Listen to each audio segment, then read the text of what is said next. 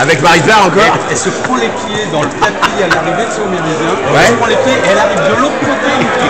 C'est-à-dire qu'elle était du côté de la réception. Elle était de l'autre côté. Je sais pas. Je sais pas.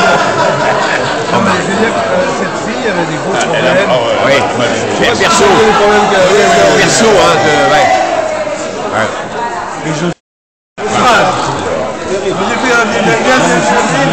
Hein J'ai fait un vidéo, en, ligne. Ah ouais Il y avait Gers qui les contrôlait. Et alors bon, moi, alors Christian me dit, bah écoute, tu te mets devant, moi je veux pas. Ah oui, mais bah oui. Alors, je fais la répartition et je mets Josette derrière avec Christian et Kerfourne. et un petit saisonnier. saisonnier, et Josette arrive dit Tu te fous de ma gueule ou quoi? T'as mis, t'as mis ce, t'as mis ce poivron de, de Kerfourne avec tout.